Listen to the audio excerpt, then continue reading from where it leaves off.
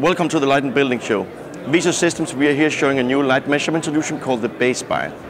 The BaseSpion is basically a mid-range desktop laboratory light measurement equipment that can take up to 9 kilos and up to 37 centimeter light sources. So pretty much any downlight or mid-range lighting products you would find. The BaseSpion is a two, a two uh, axis goniometer and you can mount anything from chips to light sources to uh, panels and modules.